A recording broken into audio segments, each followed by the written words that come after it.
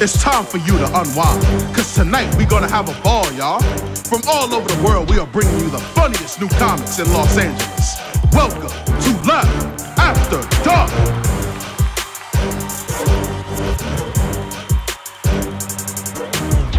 Ladies and gentlemen, get on your feet and make some noise for your host, Luc Ashley.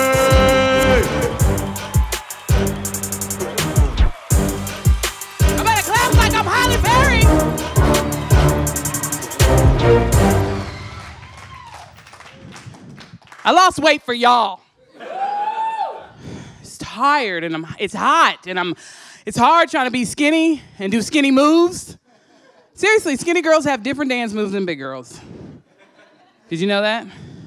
You looking at me like I want to see. Okay, I'll show you. big girls have moves that are big. It's like like big. Big girl moves. Skinny girls just drink and just go.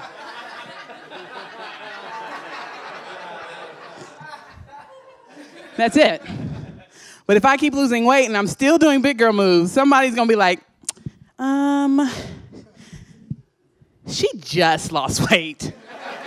like, those moves are still kind of new to her. She doesn't know what she's doing. How y'all doing tonight? Y'all doing good? That's what's up. Coming up next is Granison Crawford and Irina Voronina. Laugh After Dark. We'll be right back.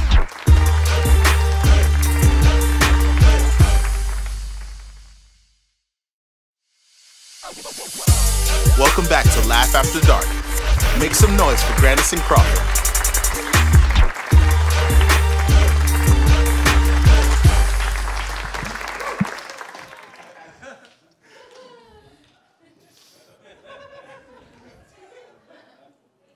You guys living your lives? Yeah.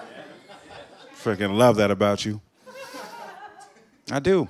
I love saying stuff like that too, stuff that sounds real positive but doesn't mean anything. Like I walk past people all the time. I'm like, keep doing what you're doing, man. I will. Thank you. Anytime. or when you first meet somebody, you're like, what part of town do you live in? Hollywood. Oh, you're right there. I guess I am.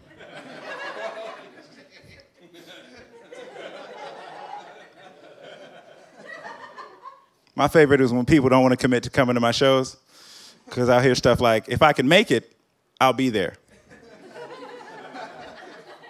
Can't really argue with that. It's just extremely true. Uh, I grew up in Oakland, uh, has a stereotype of being a rough place. I don't really fit that description.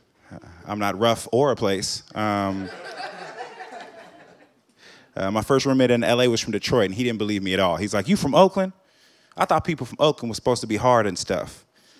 Still don't know what the and stuff is. Like, what? Maybe he was a bad eavesdropper, right? Like the whole. Like the whole thing went, people from Oakland is hard and make excellent poets. Like I would. I would definitely take it. Because uh, the idea that everybody in Oakland, everybody in Oakland is hard, like that is ridiculous. The city wouldn't function. you don't want to walk into a Starbucks and have a hard ass barista. Just, you want whipped cream or nah. Like, oh, just want to live. I'll have my card back. Maybe hold the sass. What's happening? Hard teachers. You walk into a classroom, teachers choking kids out like, shh, it's nap nap time. Like, oh, well, I don't like his methods, but his results are undeniable. And also, like, why would I lie about it? It's not like I need street cred at this point. I'm a grown up. I have actual credit.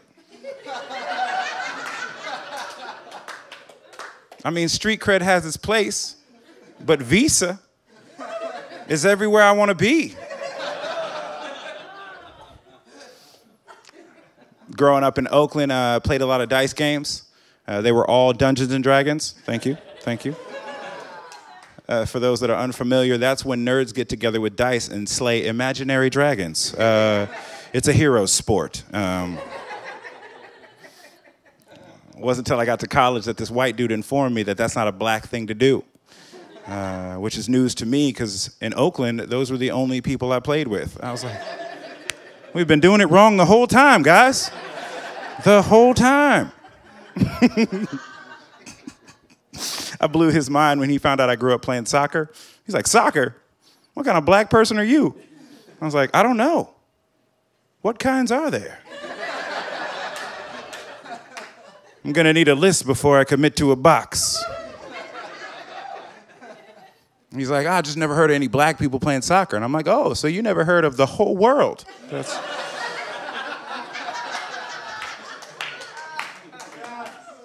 A lot of brothers kicking it over there.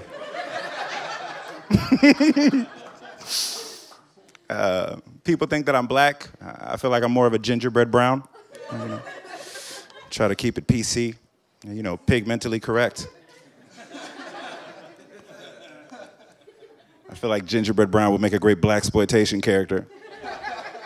Cause you've heard of Shaft, you've heard of Black Dynamite, but there's a new kid in town, and he's gingerbread brown. Uh, white people uh, always tell me I look like the Key and Peele guy.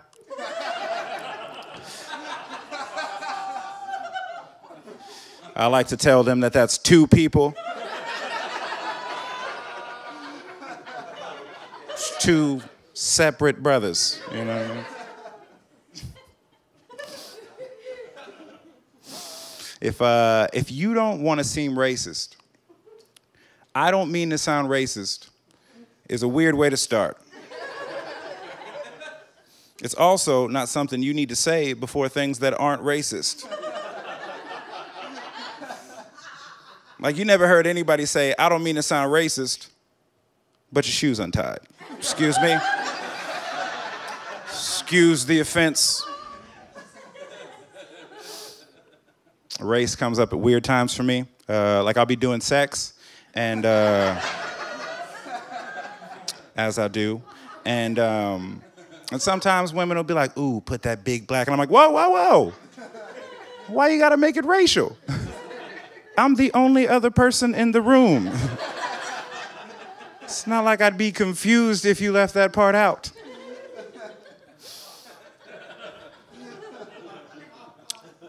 I learned how to do sex by watching porn, uh, which is kind of like learning how to fight by watching the Power Rangers. You're just.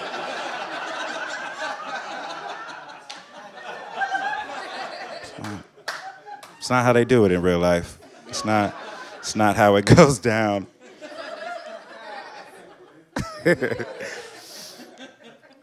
I remember uh, my mom found out that I was watching porn because uh, the next door neighbor used to fix our computers. I think his legal name is Snitching Tom. Um, yeah, yeah. I got home. My mom asked me. She said, "Have you been watching porn?" I said, "Yep," uh, and she left the room. She doesn't like confrontation. Um, I was just super glad that my dad didn't like walk in on me or something. You know what I mean? Because uh, that would have been a weird way to meet him. That'd have been just like, who are you? And do they knock? Um, uh, I'm adopted, or as I like to call it, chosen. Uh, although my birth parents were crackheads, so technically, I'm a rescue ladies. Um, adults would always ask stuff like, uh, when did you find out? And I was like, when I moved in.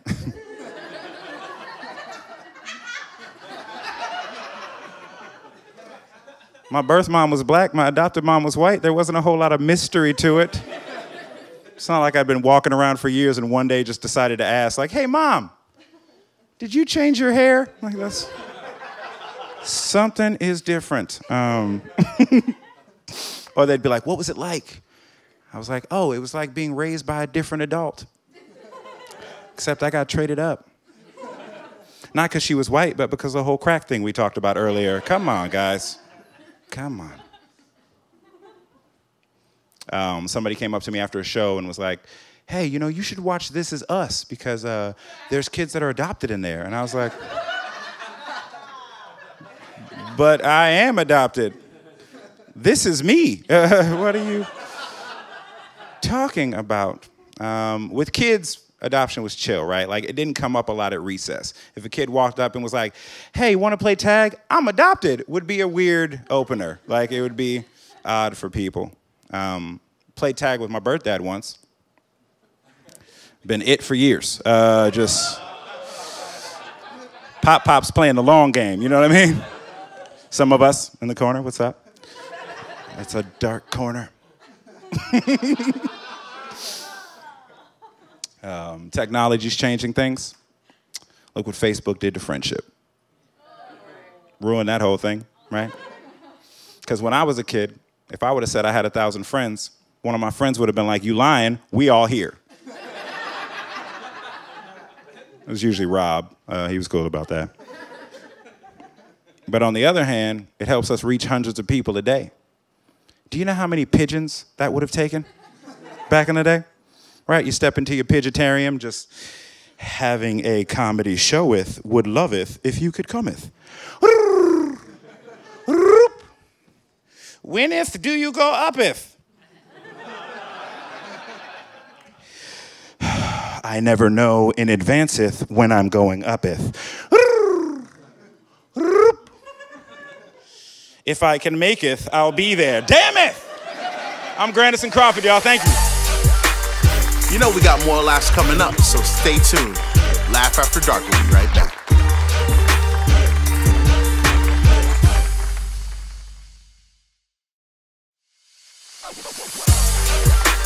Welcome back. Give it up for Irina Voronina.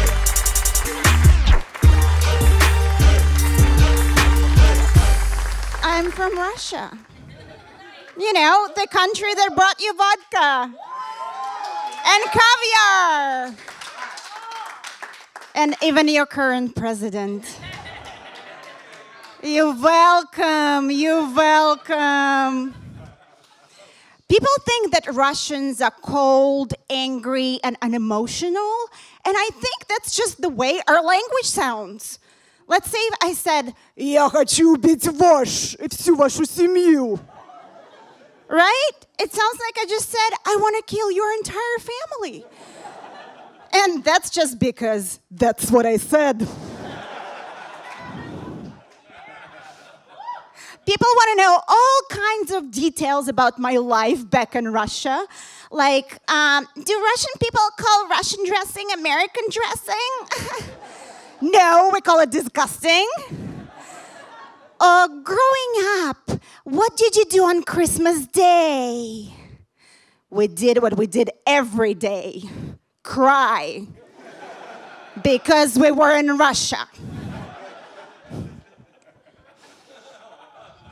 Russian concept of being poor and American concept of being poor are very different. Like my friend Stacy was telling me, "Oh my god, Irina, on my 10th birthday, I cried so much cuz my family couldn't afford a pony."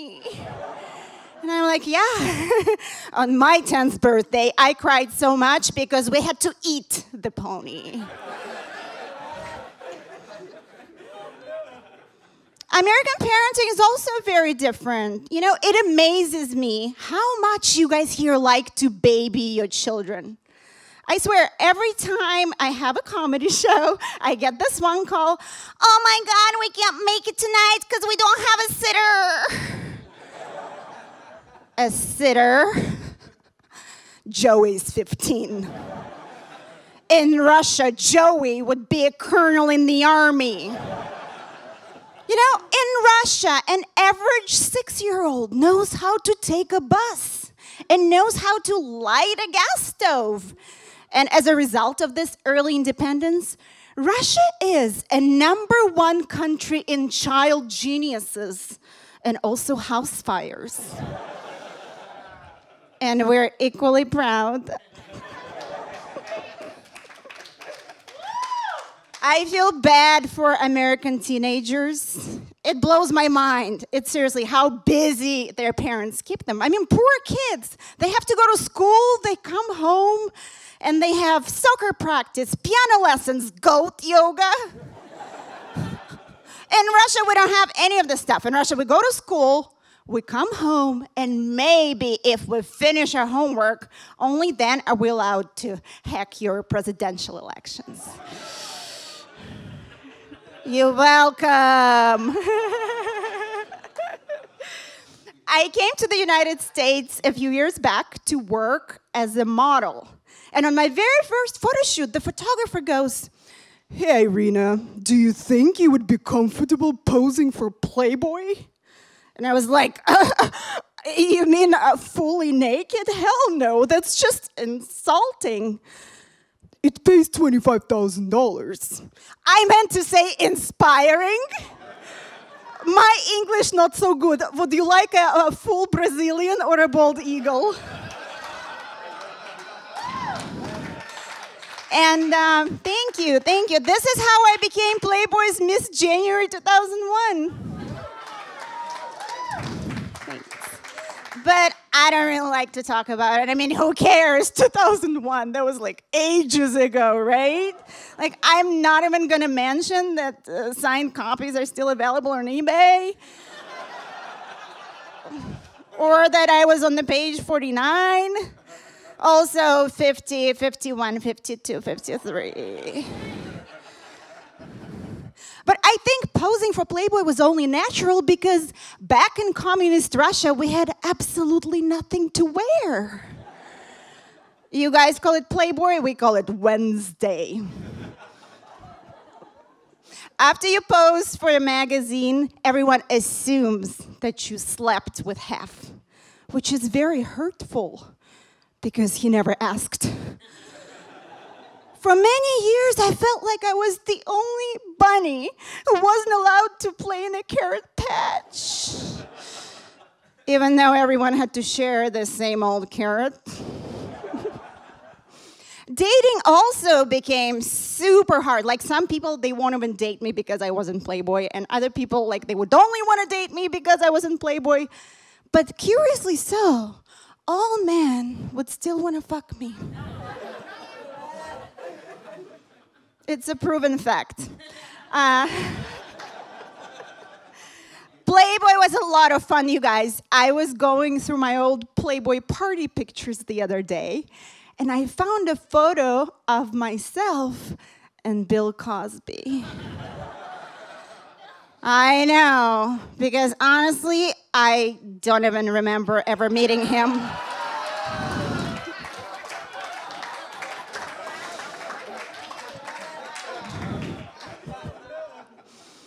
Well, you know, dating is hard for everyone. And I think for women, finding a partner, finding a husband, is a lot like electing a president, but for your vagina. Because, ladies, we can't just let like whoever walk into the ovarian office, right? He has to meet certain criteria. Like for me, to be a United States born citizen. Over the age of 35. And if he campaigns, he better campaign really hard. And he cannot have a beard because I spent $950 in landscaping the rose garden. and I'm not going to put another bush back in the office.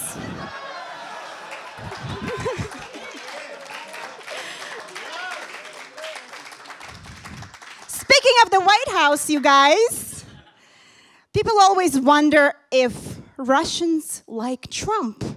And the answer is no, because actually, we never got a thank you for everything he did for us during the elections.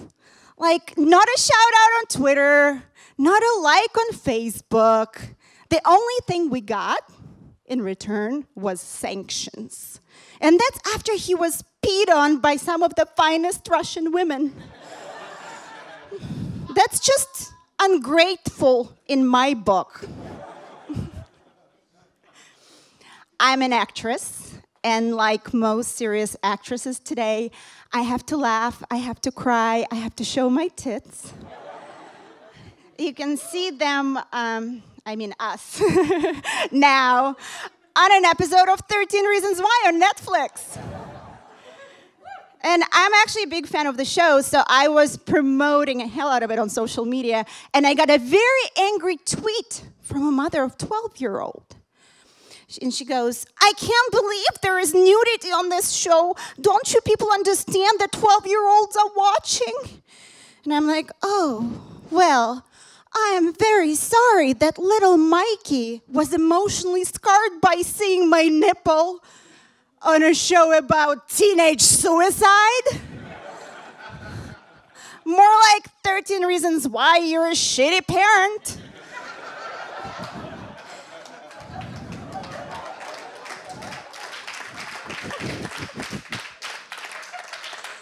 And if you think that was a coming of age moment, just wait till he Googles me. We'll be right back after this.